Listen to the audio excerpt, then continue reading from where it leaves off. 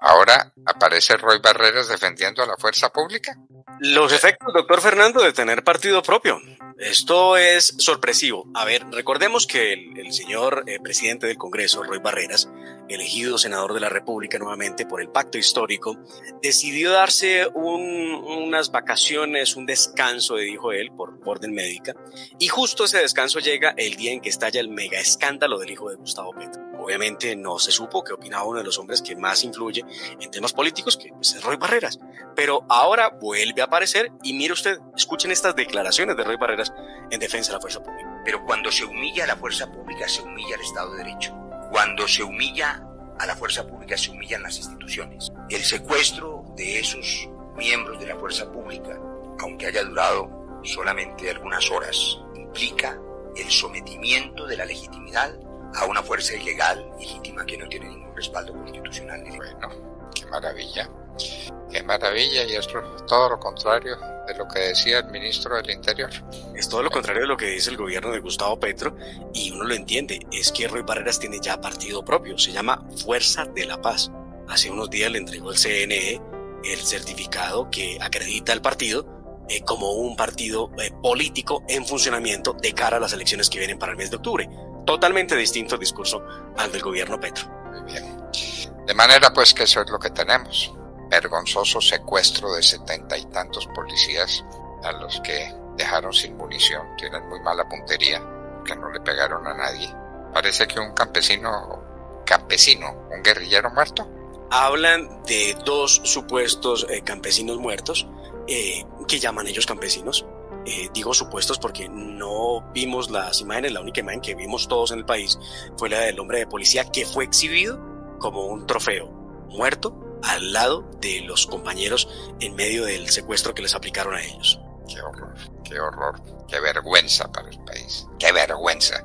Ministro Prada, tenemos vergüenza de colombianos. Usted lo que nos da es pena, no nos produce admiración lo que hizo en los pozos Caquetá, no, nos da pena, pena que usted vaya a entregar las instituciones y que usted no tenga el valor suficiente para ordenar lo que corresponde para que los eh, miembros de la fuerza pública no se dejen secuestrar. ¿Y quiénes los secuestraron? ¿Quién es esa guardia campesina? Usted dice quiénes son los de la guardia campesina. ¿A quién están guardiando? Cuéntenos. ¿Son defensores de quiénes? Bueno, en todo caso, acabaron pues con esa eh, explotación petrolera.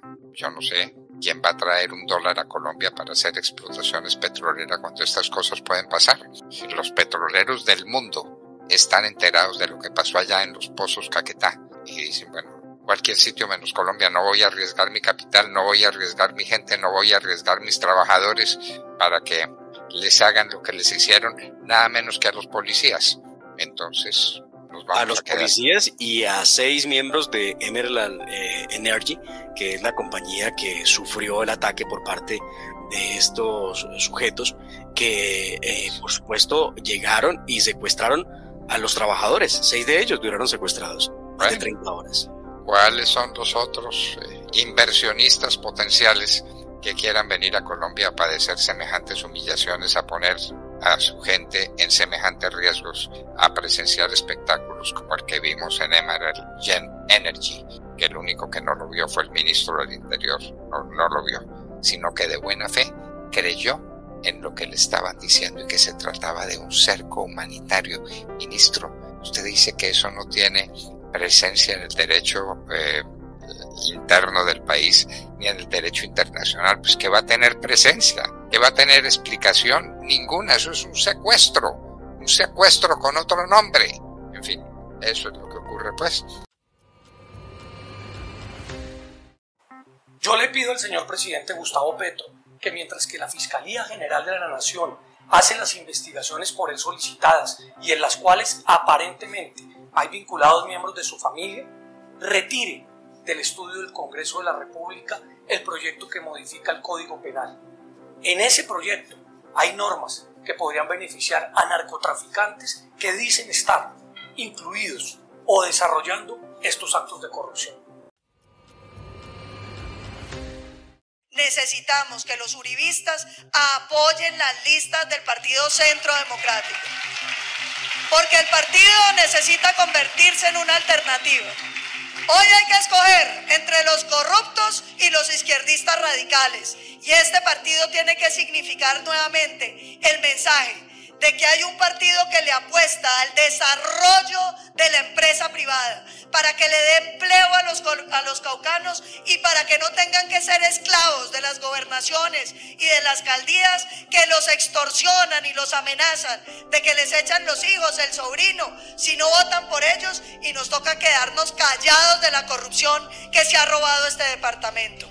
La empresa privada genera empleo para el ciudadano libre. La empresa privada paga impuestos que tanta falta le hacen a este departamento para hacer una verdadera política social que nos permita sacar de la pobreza a los caucanos que hoy están presos, de esa pobreza y del narcotráfico. Este es el partido que le recuerda todos los días a los colombianos que uno no puede vivir sin seguridad porque ¿de qué le sirve a usted tener buen empleo o buena educación o salud si no puede salir de la calle? ¿De qué le sirve a usted un departamento próspero si no puede transitar y lo extorsionan y le quitan lo que ha construido? Este departamento tiene muchos desafíos, pero este partido tiene que estar aquí para decirle a los caucanos que hay mano firme para combatir la corrupción, para combatir la politiquería, para decirle a los violentos que no nos interesa el narcotráfico y corazón grande, para que trabajemos con la luz de que sí se puede gobernar bien a Colombia, porque el presidente Uribe lo demostró. Caucanos, ni un paso atrás, el uribismo firme, el uribismo adelante, el uribismo sin miedo, el uribismo que le diga a Colombia, que la izquierda se equivoca en las políticas, que daña la empresa privada, que destruye la inversión, pero sobre todo que esclaviza a los colombianos. ¡Que viva el centro!